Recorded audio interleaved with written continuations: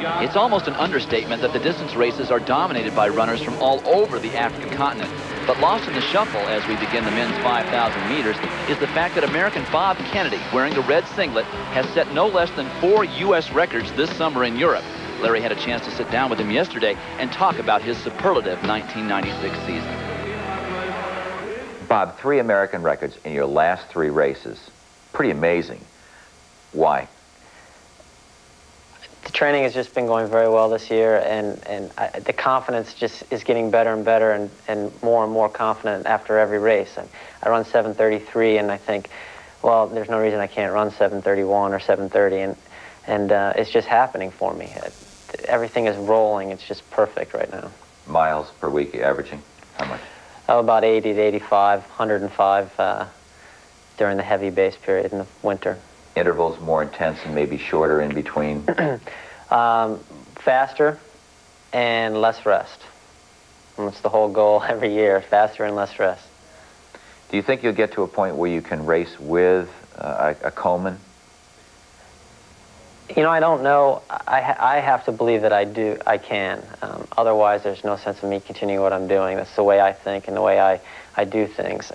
Uh, 1245 and 1244 are incredible times, but they're, they're not mind-boggling to me. Um, I think that it, it, it is something that is possible for me at some point in the future. Last week in Brussels, his 731 translated to almost a 403 mile pace for almost two full miles.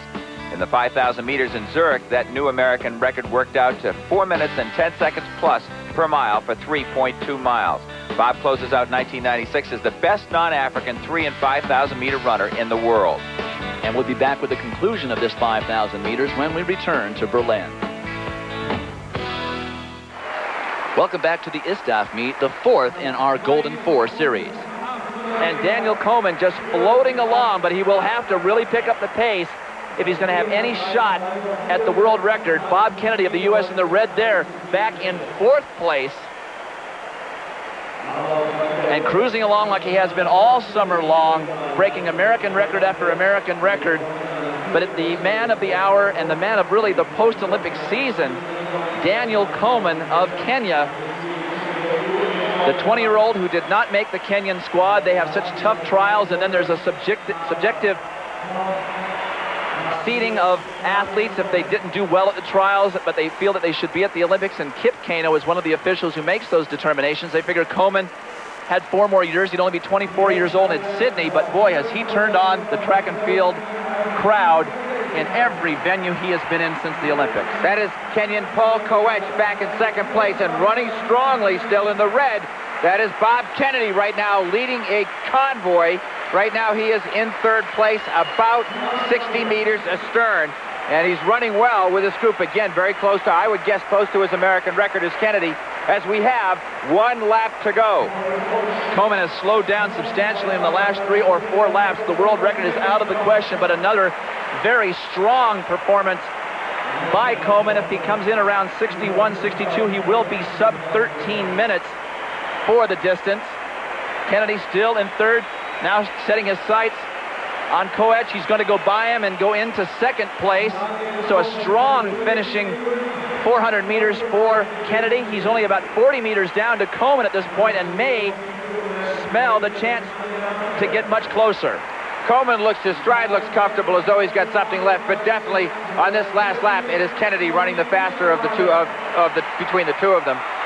But this young man started at the age of 13 running and by the time he was 14, people saw his gifted ability. At 17, he ran 8.54 for the steeplechase at altitude, no less, and the rest has been history ever since for the great Daniel Komen, age 20. Komen jogs in in 13.02.62. Kennedy will be second.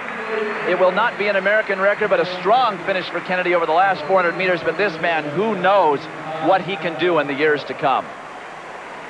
Results of the men's 5,000 meters. Daniel Komen of Kenya, the winner in 13.02.62. Bob Kennedy comes up for second in 13.06.12, and Paul Koech of Kenya is third.